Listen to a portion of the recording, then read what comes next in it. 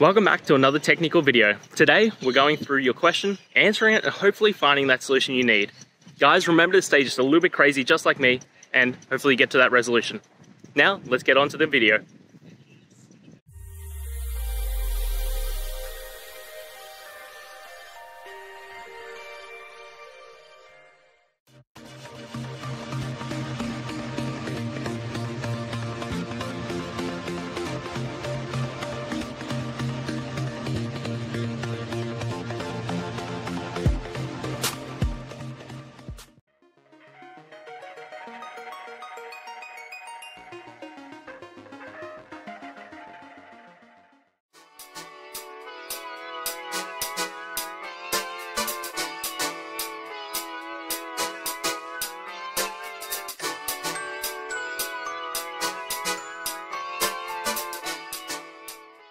And that's it, guys. We've gone through, answered your questions, and hopefully found that solution that you're looking for.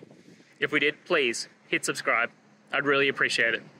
And until the next time you need technical help, I hope you have a good one.